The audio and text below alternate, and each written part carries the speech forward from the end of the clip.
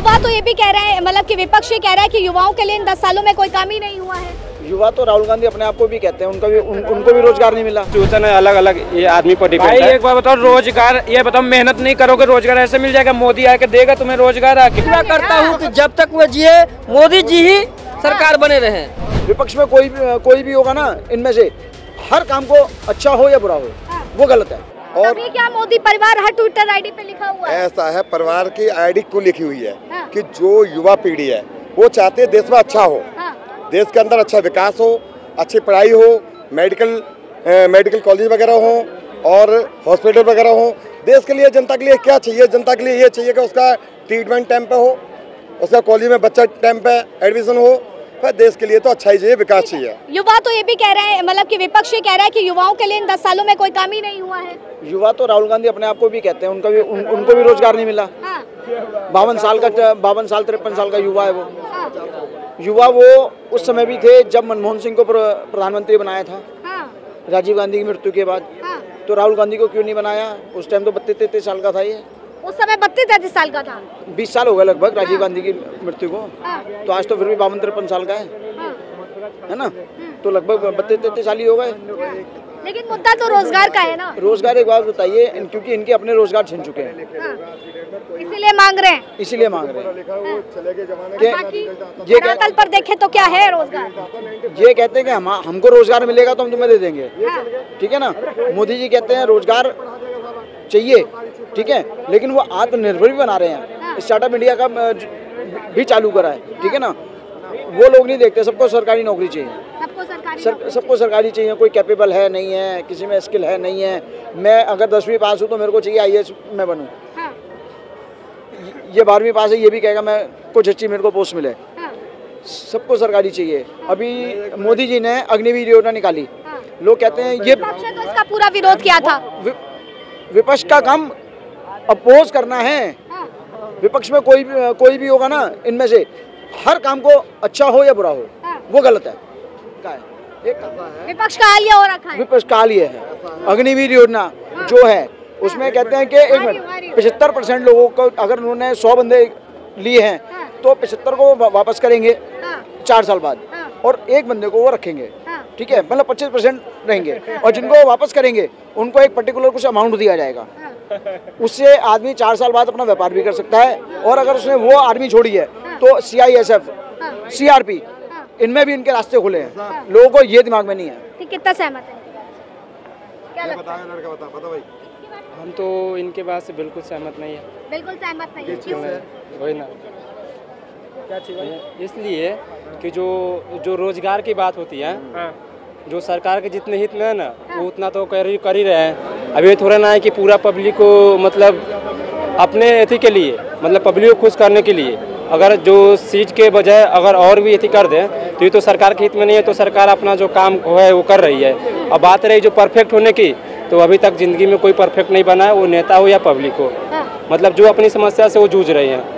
मतलब जूझते जूझते अपना- अपना आदमी अपनी पद तक जा रही है। लेकिन वर्तमान सरकार किस तरीके से काम कर रही है?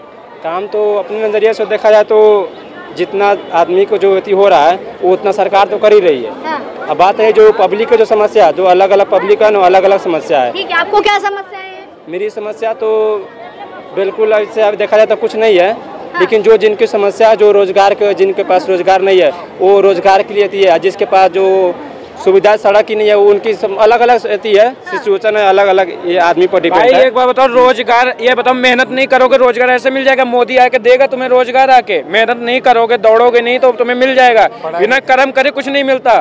कर्म करना पड़ता है तब फल मिलता है ठीक है? हमारी लैंग्वेज समझ में आ रही है मैंने क्या बोला वही ना। कोई बात नहीं। मैं बिहार का छोड़ो ना वही ना। ये तो पूरा जनता की बात है समस्या वही ना। सिर्फ़ बिहार की थोड़े ना है। बिहारों में तो एक से एक आदमी है भाई करोड़ों रुपए रोज कमा रहे हैं। वही बात लोग हैं मैं तो। ऐसा है एक मिनट ऐसा है जो देश का प्रधानमंत्री नियुक्त होता है ना वो यूपी से होता। है। और यूपी की जनता जहाँ माइंड कर लेती है ना एक बार यूपी जिसने यूपी को संभाल लिया चाहे वो विपक्ष हो चाहे वो भाजपा हो जिसने यूपी को संभाल लिया तो यू मानो देश का प्रधानमंत्री बन गया। और यूपी को संभालना क्या है? यूपी को संभालना एक बहुत बड़ी खीर है। क्या खीर है? कि यूपी के अंदर बहुत माइंडेड लोग नेता हैं जो विपक्ष वाले ऐसे हैं जो दही कुछ साले को मठा बना दें। अच्छा दही दही कोई को मट्ठा बना दें हाँ। दही को ही मट्ठा बना दें उनका कहना है अब स्वामी प्रसाद मौर्य था अखिलेश के साथ। तो क्या बयान देते थे कि रामायण है ही नहीं? हाँ। भाई रामायण है ही नहीं। अब एक बताओ स्वामी प्रसाद मौर्य से मेरे मुँह से बात गलत निकला है। अगर स्वामी प्रसाद मौर्य तो अगर रामायण नहीं है तो खासा बन जा। इस्लाम धर्म वो कर ले। इस्लाम धर्म कर ले तो रामायण आएगी नहीं। अरे हिंदू धर्म में जन्म लिया था चाहे वो कोई भी व्यक्ति हो उसके रामायण या कान्हा जी कुछ भी हो वो तो साइन करने पड़ेंगे ठीक है 2024 में क्या लग रहा है किसको आना? 2024 में ऐसा यूपी का रहने वाला हूँ मैं हाँ। और बुलंदशहर का रहने वाला हूँ कौम से ठाकुर हूँ। हाँ। 99 परसेंट यूपी के अंदर तीन या तीन या चार सीट आएँगी विपक्ष की ज़्यादा ज़्यादा तीन लाख। तीन या चार? तीन लाख। जब पूरा इंडिया गठबंधन है तब की बात कर रहे हैं इंडिया गठबंधन में कौन है? प्रधानमंत्री का तो कोई दावेदार नहीं उसमें उन्हें ये तो पता नहीं घोड़ी पे घोड़ा घोड़ी पे दूल्हा कौन बैठेगा? जब दूल्हे की पता ना है तो किसको प्रधानमंत्री बनाएगी? जनता किसे देख के प्रधानमंत्री के लिए वोट देगी उसके लिए? उन्हें राहुल जी हैं वो कहेंगे खिचड़ी तो बता देंगे भैया वो बनी है खीर। हाँ। तो राहुल जी के बोल सही नहीं है। तो राहुल जी को कोई पसंद नहीं करता। ये तो लोग विपक्ष वाले ने मजबूती रोटी है सेकनी है। हैं? मोदी को जिता रहे हैं। क्या देखिए वो हमारे हित में तो नहीं है कि हम किसको जिता दे वही ना। क्यों आप आप मतदान नहीं करेंगे। हम तो करेंगे वही ना। अगर जो ये कैसे कह रहे हैं कि हमारे हाथ में नहीं है कि हम किसको जिता दें? तो वो बात नहीं है वो तो पब्लिक की नहीं थी है कहा कि जो पब्लिक के जो हित में है जो सारे पब्लिक के हित में है जो वो करेंगे वही ना। अभी तो नहीं बताएँ कि राहुल गांधी को बना देना चाहिए और इनको बना देना चाहिए ये तो नहीं कहेंगे वो तो समय के हिसाब से वर्तमान में सरकार है वो रिपीट होनी चाहिए या फिर नहीं? वो मेरे हिसाब से तो रिपीट होनी चाहिए। होनी चाहिए। ठीक है इनके हिसाब से होनी चाहिए। कैसे देख रहे हैं? क्या कुछ लग रहा है कि रिपीट होनी चाहिए?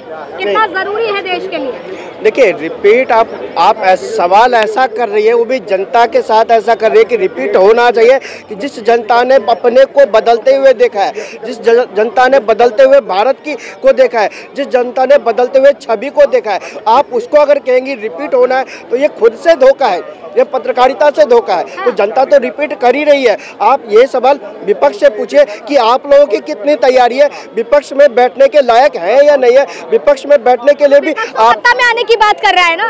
मैडम आप फिर वही एक बार बताइए अगर विपक्ष सत्ता में आने की बात कर रहे हैं तो आज विपक्ष बिहार में कहाँ पे है? आज विपक्ष पंजाब में कहाँ पे है? आज विपक्ष जाके देखिए बंगाल में कहाँ पे है? आज विपक्ष जम्मू कश्मीर में कहाँ पे है? आज विपक्ष साउथ में कहाँ पे है? आज विपक्ष तमिलनाडु में कहाँ पे खड़ा है? तो भैया विपक्ष है कहाँ? क्या सत्रह सीट चुनाव में अखिलेश यादव और राहुल गांधी जी उत्तर प्रदेश का सत्रह सीट चुनाव लड़के प्रधानमंत्री बन जाएँगे? तो क्या होगा? सबको पता है हर एक को पता है। कांग्रेस वाले अमेठी और रायबरेली नहीं लड़ पा रहे, जो एक परिवार लड़ता था जहाँ से वो दोनों सीट पारिवारिक सीट वो नहीं लड़ रहे। वो प्रधानमंत्री का सपना देख रहे हैं। अखिलेश यादव जी ने तो पहले हाथ पीछे खींच लिया कि भैया हम तो रेस में नहीं है। केजरीवाल जी को पता चल गया कि भैया उन, उनको सम्मान से डर है इसलिए कांग्रेस की गोद में जाके बैठे नहीं तो केजरीवाल साहब कभी गोद में जाके बैठते नहीं अच्छा हैं। तो मतलब डर की वजह से पहुँच गए। हाँ क्या कह रहे हैं? देखिए तीसरी बार नरेंद्र मोदी की सरकार भारत में आएगी क्योंकि हम दो सीटों से 300 प्लस सीट पे पहुँचे हैं। इस बार हम विकास और काम के बलबूते जनता के प्यार के बलबूते हम 400 प्लस सीट पर जाएँगे। नरेंद्र मोदी जी की सरकार जाएगी, तीसरी टर्म बनेगी, क्योंकि भारतीय जनता पार्टी की सरकार में योजनाएँ केवल कागज़ पे नहीं बनती है कांग्रेस 40 साल शासन की केवल योजनाएँ कागज़ पे बनाती थी, लेकिन ज़मीन तक नहीं पहुँच पाती थी, योजनाएँ गाँव गरीब तक नहीं पहुँचा था। लेकिन आज भारतीय जनता पार्टी की सरकार, मोदी की सरकार में योजनाएँ गरीबों तक, गाँव तक, निचले तबके तक, व्यक्ति तक पहुँचती है। ये है जनता की सरकार, इसको कहेंगे हम। इसीलिए इतने भरोसे के साथ हम कह रहे हैं, भारतीय जनता पार्टी की सरकार 400 प्लस सीट से बनेगी। सहमत है बात से सॉरी सहमत है इनकी बात बिल्कुल बिल्कुल सहमत है। हम तो मतलब किसी राजनीतिक पार्टी से नहीं है। हम तो एक कॉमन वोटर हैं। हाँ। और पहले जब हम पढ़ाई करते थे तो शायद कांग्रेस की सरकार हुआ करती थी। और आज बीजेपी की सरकार है तो उसमें हमें काफ़ी कुछ सुविधाएँ मिली है मोदी जी की ओर से। तो ज़ाहिर सी बात है कि हम तो मोदी जी को ही सपोर्ट करेंगे। मोदी जी को सपोर्ट कर रहे हैं। आप किसको कर रहे हैं? मैं मोदी जी सपोर्ट करता हूँ। मोदी जी को बेटर हैं। आपको बेहतर है। बेटर हैं। क्योंकि सरकार चलाने वाले एक ऐसा ही एक बंदा है जो ऐसे ही चाह रही है जनता की सत्ता पर काबिज रहे हाँ हाँ हाँ बिल्कुल बिल्कुल बिल्कुल आने वाले पाँच साल नहीं आने वाले पचास साल हम तो चाहते हैं बीजेपी पचास रहे साल ही चाहते हैं कि मैं मोदी यही दुआ करता हूँ। की जब तक वो जिए मोदी जी ही सरकार बने रहे। जब तक वो जिए। हाँ। बीजेपी हमेशा रहे। बीजेपी आनी चाहिए। तो देखिए जनता की राय है बीजेपी ही आनी चाहिए। प्रधानमंत्री के पद पर अगर देखा जाए तो नरेंद्र मोदी को ही देख रहे हैं और कोई चेहरा। अच्छा देखिए पीछे से आवाज़ आ रही है। मोदी जी के बाद जय मोदी जय योगी। मोदी बाबा। हाँ, तो देखिए फ़िलहाल तब तक के लिए आप बने रहे। न्यूज़ वन इंडिया पर कैमरा पर्सन विकास के साथ आस्था